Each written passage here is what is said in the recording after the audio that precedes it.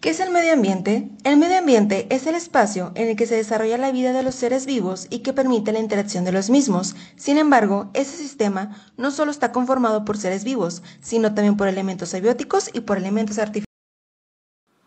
¿Cómo podemos cuidarlo desde el hogar? Paso número 1. No desperdiciar agua.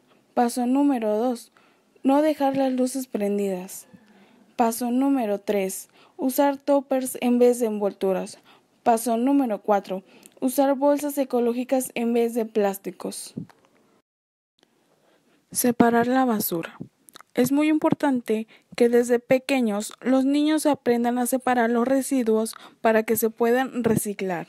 Muy común en las casas que pueden superar la capacidad del sistema electrónico que produzcan cortes de energía, evitando que pueden estar en tus manos.